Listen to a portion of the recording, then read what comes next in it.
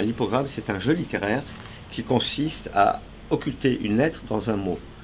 Et quel est le plus long Ouais. de la langue française sans, le- sans la lettre E? Euh, à la manière de Pérec. Exactement. Eh bien, je vais te le dire, c'est institutionnalisation.